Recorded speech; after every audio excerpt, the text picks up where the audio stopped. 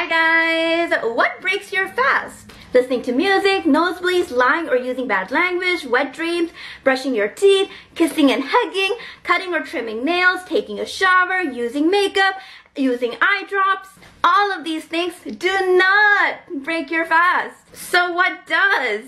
Smoking, intentionally eating or drinking, having intercourse, masturbation, vomiting purposely if it's more than a mouthful, taking medicine, and periods. Okay, bye!